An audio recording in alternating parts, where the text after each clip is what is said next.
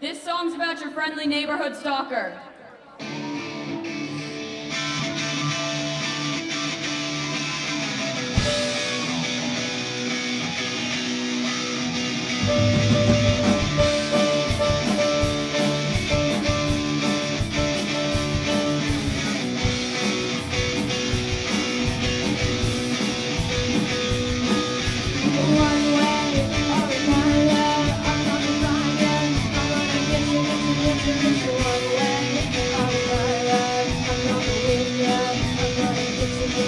to keep you unaware.